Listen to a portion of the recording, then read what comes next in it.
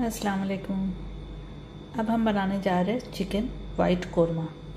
इसके लिए हमने चिकन लिया है वन के जी है और इसके पीस मीडियम कट करवा लिए हैं, ठीक है? और इधर हमने 12 से 15 काजू पानी में डिप करके रखे हैं। देखिए, पानी में डिप किया हुआ है। और इधर 15 से 20 बादाम है जो हमने गर्म पानी में डिप करके रखे हैं, क्योंकि इसका जो स्किन है वो रिमूव करके काजू और बादाम को हम ग्राइंड करके पेस्ट बनाएँगे फाइन पेस्ट बनाना है। तो चलिए, पहले हम चिकन को मैरिनेट करते हैं। इसमें हम डालेंगे two tablespoon ginger garlic paste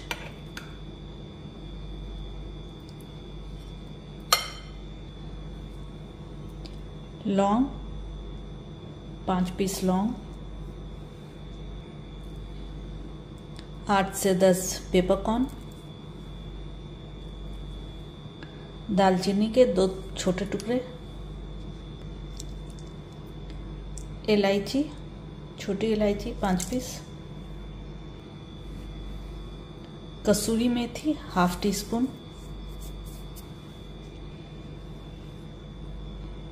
दही, एक कप दही,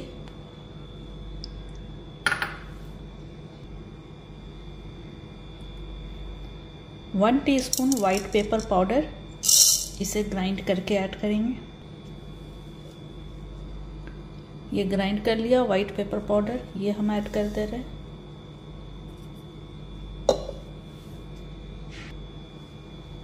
इसमें डालेंगे सॉल्ट वन टीस्पून आप अपने टेस्ट के हिसाब से ऐड कर लीजिए। अब हम सेम ग्राइंडर में काजू ऐड करेंगे। बादाम हमने छील लिया है, देखिए। और छः सात ग्रीन चिली या आप अपने टेस्ट के हिसाब से ग्रीन चिली इसमें ले लीजिए। और ये सब मिला के हमें ग्राइंड करके पेस्ट बनाना है।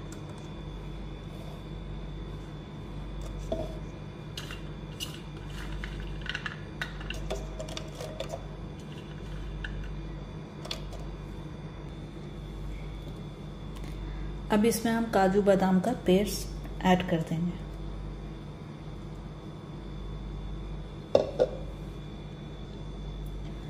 अब इसे हमें अच्छे से मिक्स करना है।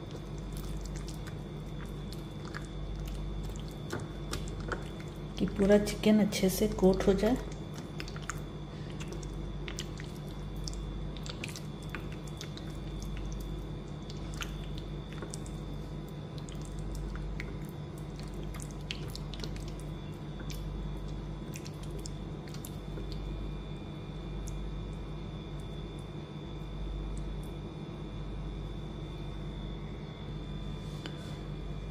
अब इसे हम, देखिए, जिस तरह से हमने कवर किया है, ये प्लास्टिक से या आप कोई प्लेट से कवर कर लीजिए और इसे मैरिनेशन के लिए रख देते हैं फ्रिज में। हमने अब कढ़ाई में तेल ऐड किए हैं तो तेल ये गर्म हो रहा है तो इसमें हम एक बड़ा साइज़ का ओनियन इसे देखिए ऑमलेट की तरह चॉप कर लिए, एकदम फाइन चॉप किए हैं, इसे ऐड कर देंगे।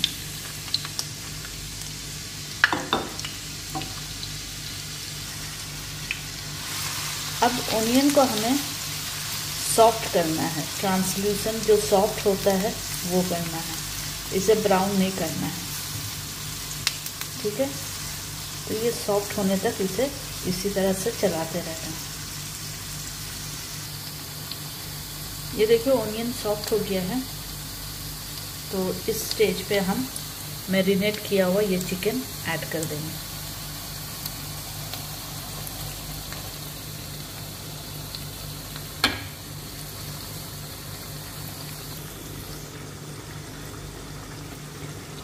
अब इसे चलाना है मिक्स करना है।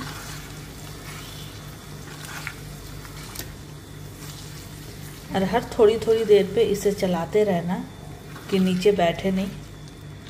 और चिकन को भुनना है अच्छे तरह से। और जो मसाला इसमें ऐड हुआ है, वो भी अच्छे से भुन जाए। तो चिकन और मसाला को अच्छे से भूनना है।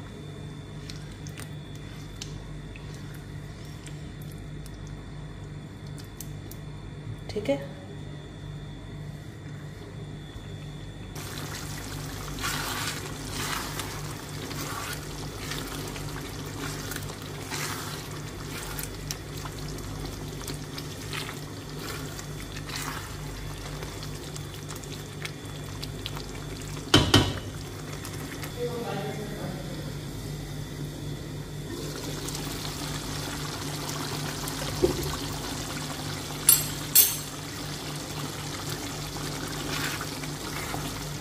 ये देखिए चिकन का हाफ़ भुनाई हो चुका है और मसाला भी हाफ़ भुन चुका है और चिकन भी ऑलरेडी हाफ़ टेंडर है।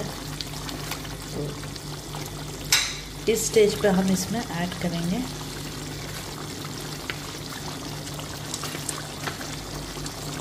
Fresh cream two tablespoon fresh cream add करेंगे। आप चाहे तो दूध का जो गलाई होता है, जो ऊपर जमता है आप उसे भी ऐड कर सकते हैं। टू टेबल स्पून फ्रेश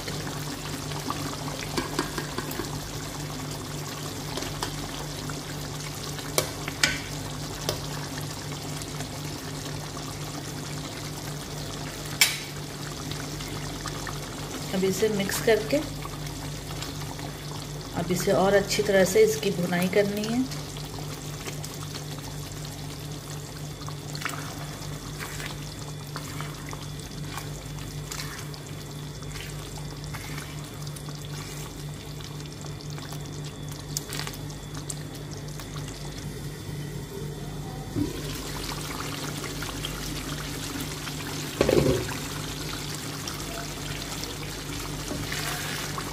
ये देखिए चिकन का भुनाई हो चुका है।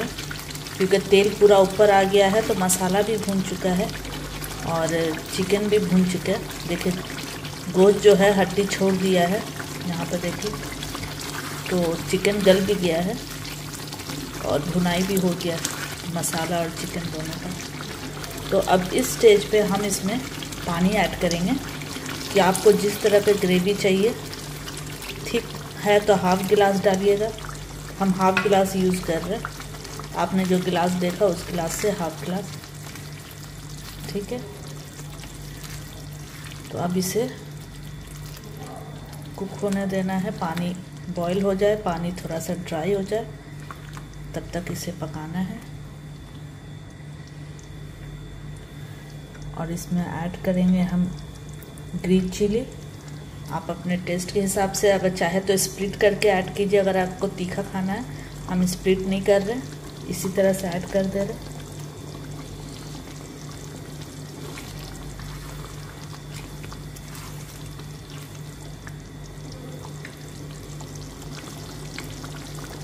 और इसमें जाएगा हरा धनिया। इससे कलर अच्छा हो जाता है। वाइट कोरमे में ग्रीन ग्रीन हरा धनिया तो कलरफुल अच्छा खिलता है ये देखने में।